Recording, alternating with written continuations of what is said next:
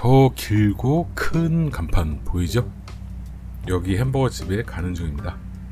누나네 집에서는 웰빙 식단만 먹었습니다. 미쿡에 와서도 미지다는 음식을 맛볼 수 없었는데 시내 구경하러 나온 김에 외식을 하는 날입니다. 원래는 여기 보이는 JC 바베큐에 가려고 했었는데 구글 리뷰를 보니까 불친절하다는 리뷰가 많이 보여서 다른 데 가자고 했더니 매형이 껄껄 웃으시더라고요. 뭐 먹을까 하다가 진짜 더럽고 추잡한 음식을 먹자. 그래서 햄버거를 먹으러 갔습니다. 사실 저는 햄버거 매니아라 햄버거를 무척 좋아하죠.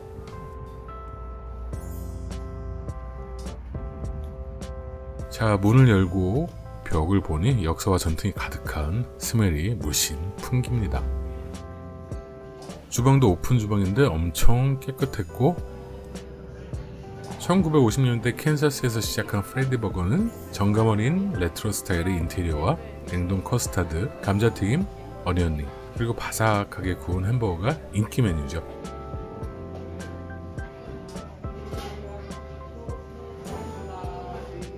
저는 더블버거 세트와 onion ring을 추가 주문했고 그리고 아이스크림도 주문했습니다. 일단 음료수를 마셔야죠. 이거 보세요.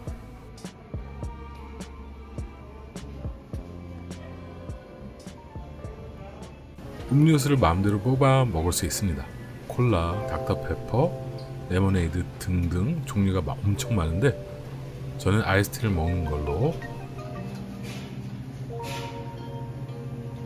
이렇게 취향대로 몇 번이고 가져다 마실 수 있습니다. 전반적으로 미국 패스트푸드가 다 이런 식입니다. 정말 대단하죠?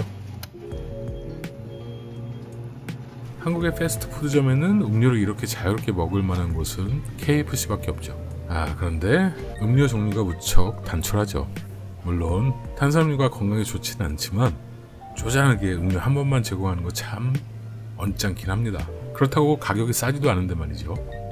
주문한 버거가 나오기 전에 분위기를 한번 쭉 둘러봅니다. 정말 귀여운 레트로 스타일의 분위기죠. 자, 주문한 음식이 나왔습니다. 먼저 각종 소스를 쭉 깔아놓고 여기는 소스 인심이 참 후합니다. 마음대로 가져다 먹을 수 있습니다.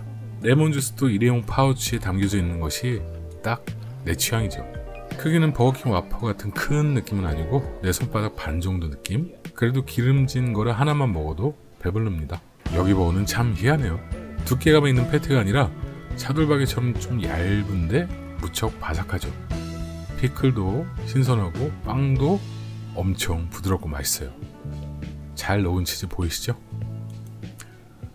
한 입 먹어봤더니 와 육즙이 흐르는 그런 느낌은 아니지만 무척 바삭하고 고소했습니다. 잡내도 하나도 없고 그런데 제가 싱겁게 먹어서 그런지 미국 음식은 다 짰어요. 그렇지만 조화롭게 어울리는 풍부한 맛이 끝내줍니다. 프렌치 프라이는 가늘었는데 겉바속촉입니다. 주문한 onion ring이 나왔습니다. 한국 패스트푸드점에서는 제대로 된 onion ring이 없지 않습니까? 양파를 갈아서 만든 걸 onion ring이라고 팔고 있는데 프레디 onion ring은 정말 양파를 잘라서 만들었습니다. 신선하고 엄청 바삭합니다. 여기는 핫도그도 유명한 메뉴인데 쫀쫀하고 쫄깃한 잔슨빌 그런 소세지 스타일이 아니고 약간 퍽퍽한 미제 소세지인데 바삭하게 구운 핫도그 bun이랑 같이 먹으면 음, 정말 또 생각나는 그런 맛입니다. 디저트로 먹은 아이스크림도 아주 맛있었어요. 캔사스 여행하면서 여기 말고 여러 레스토랑에 갔는데 먹느라 바빠서 영상 찍지 못한 게 좀 아쉽네요. 매형은 여기에 젊은 애들만 오는 데라고 해서 줄을 쭉 둘러봤더니 할아버지 할머니도 엄청 많이 계셔서 좀 웃기긴 했습니다. 남녀노소 모두가 즐겨 찾는 미국 대표 메뉴 햄버거. 프레디의 햄버거도 한국에서 맛볼 날이 오길 간절히 바랍니다.